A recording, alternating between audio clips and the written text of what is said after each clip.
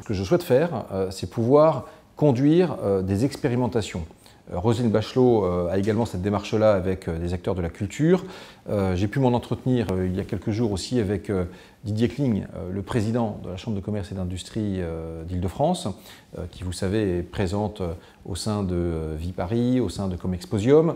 Et, moi, je trouve qu'il serait intéressant, et j'ai d'ailleurs euh, signaler cela au Premier ministre euh, lors de, la réunion qu'il organise chaque semaine sur, sur euh, la Covid, sur l'intérêt qui s'attache à conduire trois expérimentations sur trois types d'événements.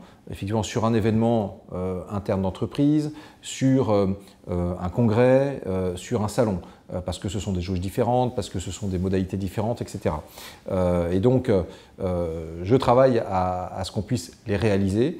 Euh, il y a un travail aussi en cours dans cette CIC, euh, hein, la Commission interministérielle de crise, euh, de ce point de vue-là. et j'espère pouvoir, si le feu vert est donné, faire ces expérimentations au mois de mai pour justement préparer la reprise de façon euh, plus industriel euh, à partir du mois de septembre, parce que les professionnels de l'événementiel me disent que eux, ce qui compte, c'est pouvoir se projeter sur effectivement septembre-décembre. Euh, et donc, pour bien préparer septembre-décembre, il faut eh avoir ces retours d'expérimentation.